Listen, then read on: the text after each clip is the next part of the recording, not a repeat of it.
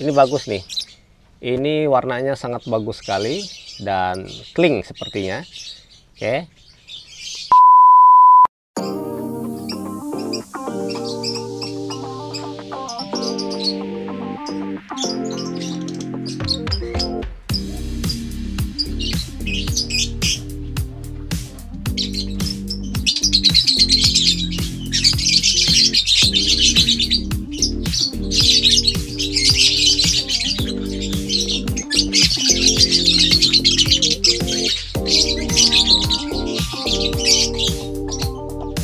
Halo teman-teman peternak burung lopet di seluruh Indonesia. Jadi hari ini saya kembali akan panen dari dua glodok ya Dari dua pasang indukan.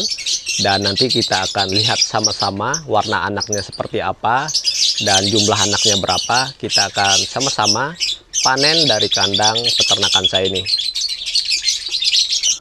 Oke seperti biasa keranjang sebagai tempat untuk menaruh anakan-anakan sudah saya siapkan. Dan sekarang kita langsung saja menuju pasangan indukan yang akan kita panen di sini ya.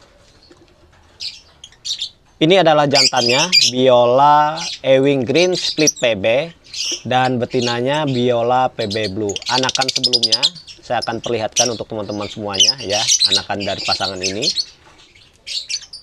Biola PB Pio ini adalah anakannya ya, teman-teman bisa lihat. Tuh. Nah ini anakan dari pasangan tersebut ya yang sudah besar.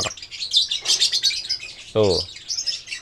Anakan dari Biola Ewing Green Split PB dengan Biola PB Blue. Ini adalah salah satu anakannya Biola PB Ewing Pio. Oke, tanpa berlama-lama langsung saja kita untuk buka ya. Jadi panen dengan usia seperti ini ya, ini usia sekitar 25 hari ini agak besar ya. Ini pilihan ya. Pilihan kita sebagai peternak. Jadi bebas ya. Apabila kita mau dengan sistem loloh induk kita harus menunggu selama dua bulan untuk bisa kita panen. Namun resiko kematiannya juga lebih besar daripada ketika kita loloh ya. Apabila kita sudah terlatih untuk merawat anaknya yang kita panen seperti ini maka potensi untuk hidupnya itu lebih besar daripada bersama dengan induknya saya akan tunjukkan yang betinanya. Nah ini indukannya ya yang betina. Biola PB Blue. Oke kembali ke anakannya tadi tanpa berlama-lama ya. Kita mulai panen aja anakannya ini ya. Nanti kita akan bahas warna anakannya ini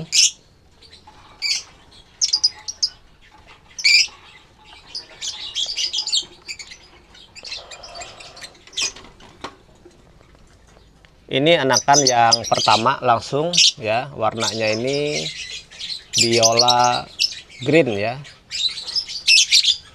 Ini. Ini dirawat induknya sangat dirawat sekali sangat gemuk ya. Tapi saya yang memilih untuk dipanen ya. Untuk dirawat dengan sistem loloh tangan. Ya satu. Masih ada dua ya. Kita ambil lagi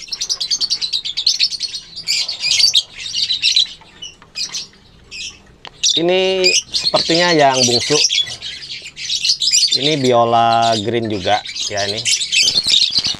Oke.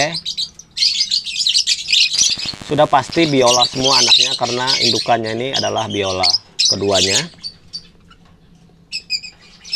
Oke. Itu indukannya. Ini indukan yang sangat bagus merawat anaknya ya keduanya ini. Kompak. Sekarang yang terakhir di pojok sana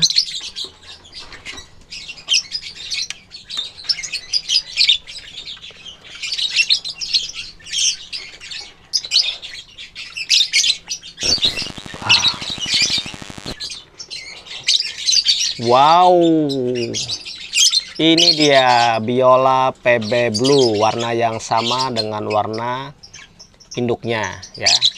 Nih, ini anakan yang terbesar. Nih, ya keren, keren, keren. Oke, ini anakannya ya. Jadi kita masukkan aja nih ke dalam keranjang. Nah ini glodoknya ini tidak saya cuci. Saya biarkan aja langsung. Saya hanya menaruh bahan sarang di luar glodok nantinya untuk mereka ambil dan mereka gunakan untuk merehab kondisi seperti ini ya. Kita tutup tidak ada perlakuan karena telurnya semuanya habis ya. Nggak ada yang kosong. Oke. Nah untuk kedua pasangan ini ya tidak ada perlakuan khusus Keduanya ini langsung saja saya rawat seperti biasa, tidak ada mandi jemur, hanya pemberian pakan seperti biasa, pembersihan kandang, kemudian pemberian air minum diganti tiap hari. Ya, semuanya berjalan normal. Nanti sekitar dua atau tiga minggu ke depan mereka akan kembali bertelur lagi. Dan sekarang kita bahas warna anakannya.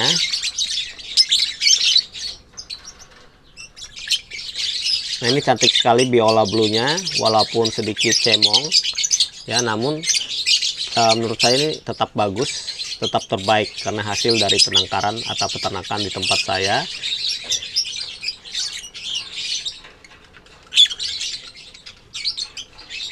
Nah ini ya. Bagus-bagus nih ya. Oke ini warna anaknya ya. Jadi ada dua biola green dan satu biola pb ya. Oke jadi dari menetas kemarin rasanya telurnya ada empat menetas tiga dan tidak ada yang mati. Semuanya hidup sampai saya panen. Dan perlakuan untuk menjaga mereka tetap hidup hanya memberikan bahan sarang secara rutin memberikan air bersih ya untuk mandi dan minumnya. Kemudian ada pakan tambahan seperti pur ayam ketika mereka sedang uh, ada anaknya ya. Sehingga pertumbuhannya bagus sehat dan tentunya bisa memberi harapan hidup lebih besar.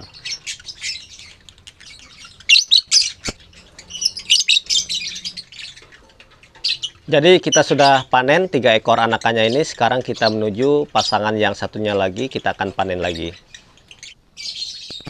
Nah ini dari pasangan warna yang sama ya. Biola Ewing Green split PB juga ini. Ini dengan pasangan Biola Pio ya. Jadi kita buka.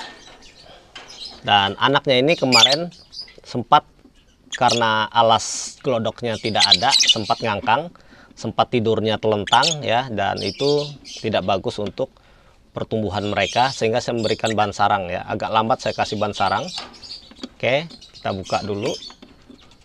Mudah-mudahan ini masih hidup anaknya. Masih hidup. Ya. Dan saya putuskan untuk memanen. Dan ini rencana saya itu yang jantannya mau saya ambil, mau saya pasangkan dengan PF ya, PF green untuk mencetak split. Oke, mudah-mudahan aja mau berjodoh ya.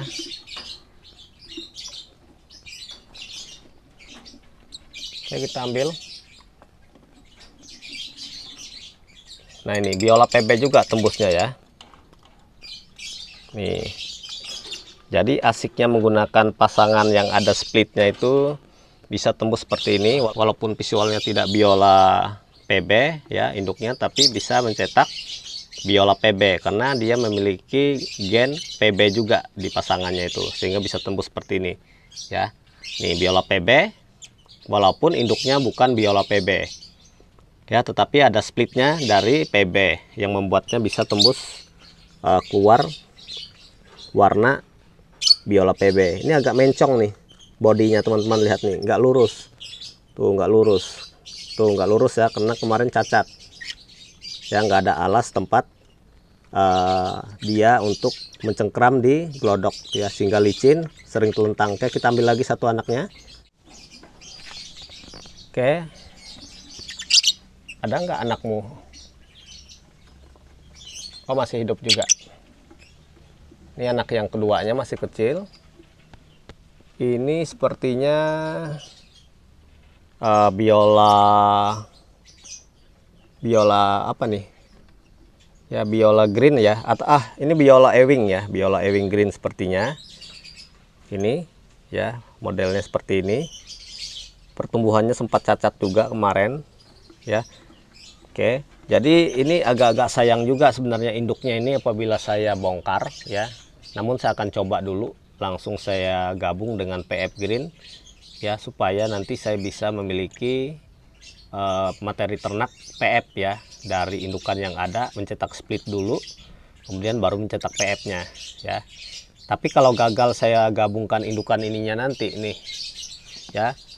Apabila jantannya ini nanti setelah saya gabung dengan PF green tidak mau ya maka akan saya kembalikan lagi dengan pasangan yang ini ya. Kita selalu mencoba untuk mendapatkan hasil yang terbaik.